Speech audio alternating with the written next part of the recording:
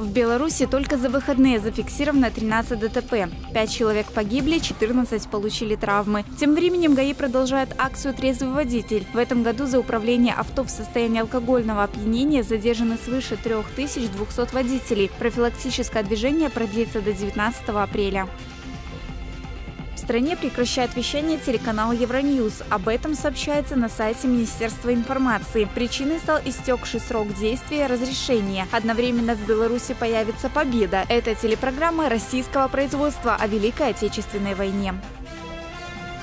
Этой весной около 10 тысяч призывников направят на укомплектование вооруженных сил других войск и воинских формирований в рамках весеннего призыва. Пополнят ряды белорусской армии студенты университетов сельскохозяйственного профиля, но с учетом их собственного желания. Отправка нового пополнения начнется 14 мая.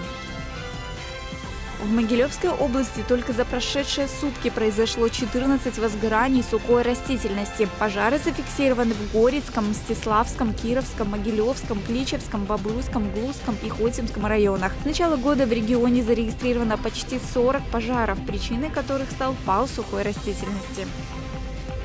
Кратковременные дожди прогнозируют в Беларуси 13 апреля. Во вторник ожидается переменная облачность. Ветер будет южный, юго-восточный от 4 до 9 метров в секунду. Днем по западу с порывами до 12. Температура воздуха ночью составит от 3 до 9 градусов выше нуля. В отдельных районах от 0 до плюс 2. Днем будет 13-19 тепла. По западу страны плюс 6-12.